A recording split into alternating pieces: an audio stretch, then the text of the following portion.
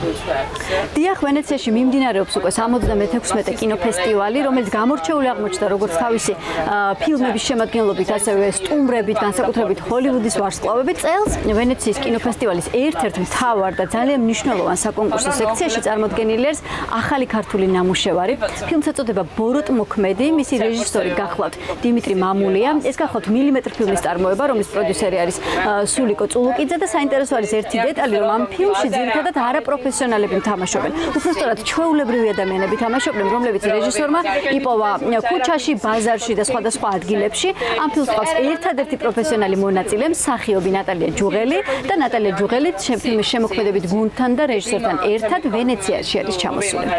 გამიმართლა არ ვიცი რანაირად მოხდა, რომ მე აღმოჩნდი ამ ფილმში ერთადერთი მსახიობი, ასე ვთქვა. ფანტასტიკურად გაართვეს თავი გმირი გიორგი, რომელიც სამწუხაროდ აქ ვერ ჩამოვიდა, გადასარავი მგონია სრულიად და დღეს ვუყურებდი და რაც ახალ-ახალი კადრები აღმოჩენასავით იყო, იმიტომ რომ ტექნიკურად რთულ რაღაცაებს აკეთებს, მსახიობებს რო უჭირთ ისეთ რაღაცაებს აკეთებს ფილმში და ძალიან საინტერესო იყო. მართალი ფილმი მეორეჯერ უნდა ვნახო აუცილებლად დღეს ძალიან დაძაბული ვახურებდი.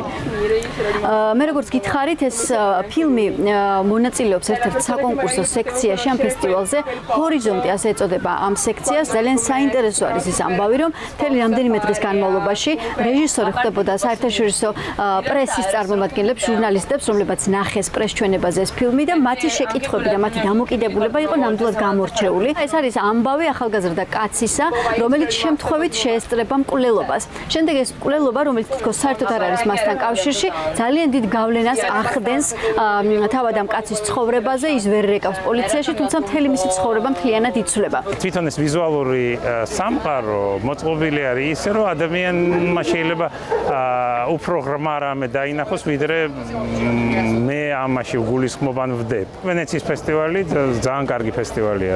დღეს დღეისობით და ძალიან საინტერესო ფილმებია და მე ძალიან მოხარული ვარ რომ ეს სწორედ ვენეციის ფესტივალია ჰორიზონტი როგორც გითხარით ეს არის საკონკურსო სექცია რომელიც ამავე ფესტივალში არის მოხვედრილი და ამ სექციას ყავს თავისი ჟიური, თავისი შემფასებლები და ამიტომ ძალიან საინტერესო არის ბოროტ მოქმედი ახალი ქართული ფილმი, როგორ გავლენას იქონიებს ჟიურიზე.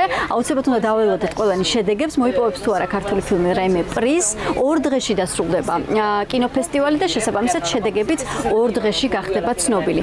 ასევე რაც თავარია, დიდი ინტერესით მიმდინარეობს ფესტივალის მთავარი საკონკურსო ნაწილი და ასევე ორ დღეში გაირკვევა თუ ვინ მოიგებს წლევანდელ ოქროს ლომს.